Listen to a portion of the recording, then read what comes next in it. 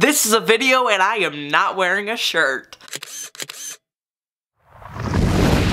Hey guys, it's Riley. What is up? I hope you guys are doing absolutely wonderful today. It is about that time now where it is two months post op. For me, it has been two months since I got my top surgery and I wanted to film a little update video on that with you guys. I wanted to let you guys know how it's all going. I wanted you guys to see what the chest looks like two months post-op and I think it looks really good and I'm really happy with it. So for those of you who don't know, on November 8th, I got top surgery at the University of Michigan with Dr. William Kuzon, who is their head of plastic surgery. Now, I knew from the time that I started researching about top surgery when I was like 14, 15 that I wanted to go see Dr. Kuzon because I've seen the results of the procedures that he's done and they were absolutely astronomical. I thought they were wonderful and I really wanted him to do my surgery. I just happened to be so lucky and my insurance covered my surgery for the time being so I got to have it with Dr. Kuzon. The recovery process after surgery, I kind of documented that a little bit in the video that I put up announcing that I got top surgery. Recovery for the first couple weeks was kind of brutal.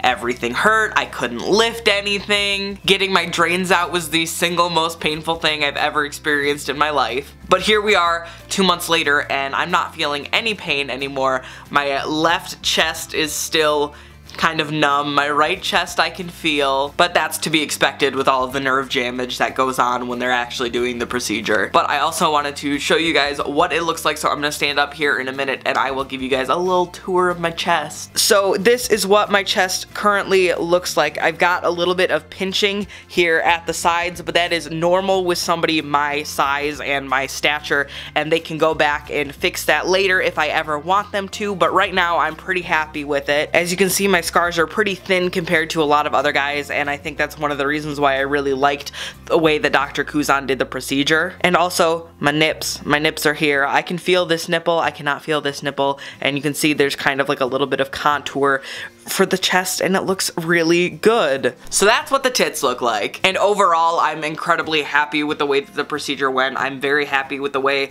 Dr. Kuzon was able to do everything. And obviously, as you can tell, I'm extremely happy with the results. There's still a little bit of skin wrinkling under my nipples and by the incision mark, but that's normal and he said that that would go away within a couple months. But overall, I think going to see Dr. Kuzon for this procedure was a really good decision and if you are in the area and you're able to see Dr. Kuzon, I highly, highly recommend it. Even though he's not one of the surgeons that's talked about a lot in the trans community, he has done so many chest reconstructions and everything like that for trans people here in Michigan, and he is amazing at it, and he's wonderful to work with. He's so nice. He makes sure you're comfortable. He makes sure you know everything that's going to go on with the procedure and everything that's going to go on afterwards. And he's a genuinely understanding person, so I do highly recommend seeing him if you have the ability to. That's the tits. That's what's going on with them right now.